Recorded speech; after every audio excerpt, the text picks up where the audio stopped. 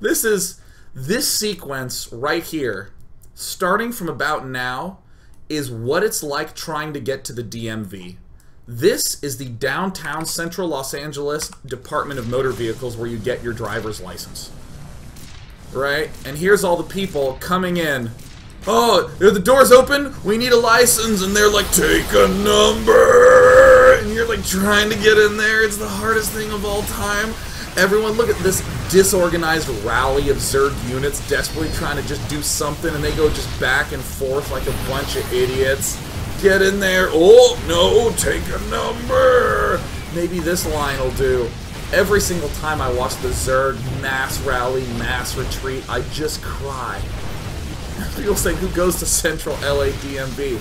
I don't know. Maybe a guy who lives in Central LA. Jerks. I go to Culver City. It's so nice. They gave me lemonade, and it took five minutes, and I got everything wrong, and they said, don't worry.